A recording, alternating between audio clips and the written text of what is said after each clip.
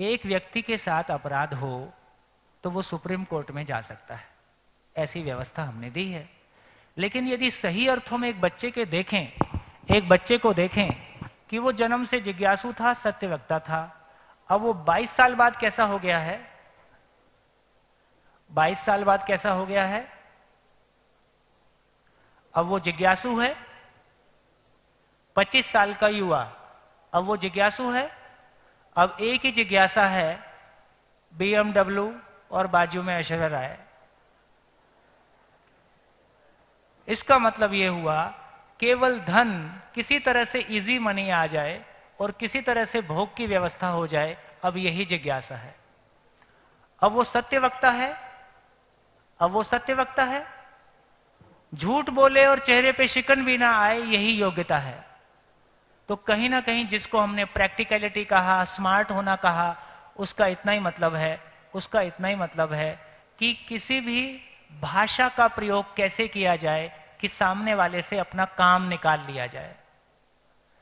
भाषा का प्रयोग कैसे करें कि सामने वाले से अपना काम निकाल लें, हम यहाँ पहुँच गए हैं।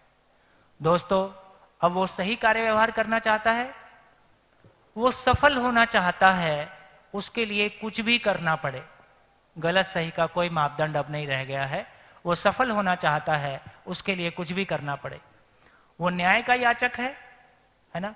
वो कुल मिला के सफल होना चाहता है, उसके लिए अन्याय क्यों ना करना पड़े?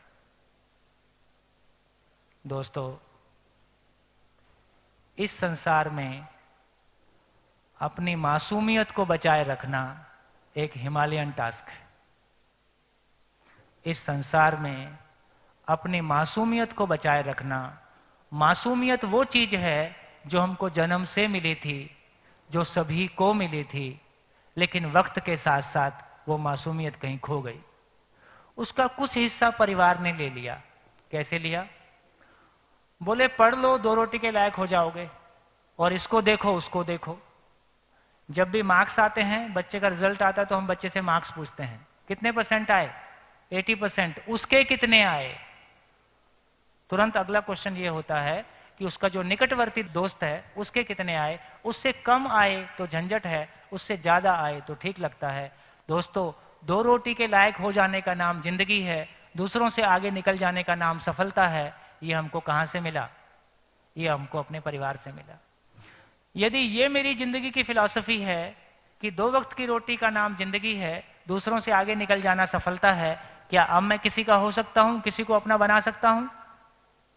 हमेशा ईर्ष्या द्वेष लगा ही रहेगा। मेरी सारी पहचान किसी दूसरे के कंपैरिजन में है और जब भी मैं किसी दूसरे के कंपैरिजन में जाता हूँ, मैं कम या ज़्यादा होता हूँ, छोटा या बड़ा होता हूँ, ईर्ष्या या द्वेष होता है, युद्ध और संघर्ष होता है, यही मेरी नियति है। मेरे अंदर भी यही है, परिवार में भी यही है, समाज में भी यही है, दो देशों के बीच में भी यही है, दूसरी धरती अभी मिली नहीं है, उसकी भी कल्पना भी हमारी स्टार स्टार वॉर्स की है।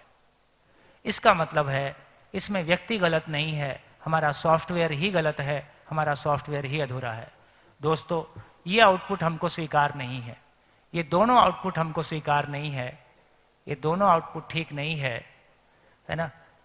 इससे मुक्ति पाके, इससे मुक्ति पाके कैसा आउटपुट हो जाए, कैसा आउटपुट हो जाए तो जो हमारे मित्र ने कहने की कोशिश की, जो एक माँ बाप के रूप में और एक युवा के रूप में हम चाहते हैं कि मैं स्वयं के प्रति विश्वास से भर जाऊँ।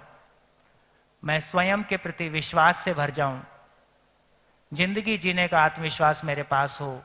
मुझको संबंधों में तृप्ति पूर्वक जीने का, संबंधों में तृप्ति के साथ जीने का विज्ञान पता चल जाए, उसका आत्मविश्वास मुझको आ जाए। अपने परिवार में, अपने परिवार में अभाव से मुक्त हो जाऊँ, समृद्धि के साथ हो जाऊँ, ऐसा ज़िंदगी। यदि ये हो गया तो एक भय मुक्त समाज एक भयमुक्त समाज के लिए मानसिकता, एक भयमुक्त समाज के लिए मानसिकता प्रदान करने का काम पूरा हो गया।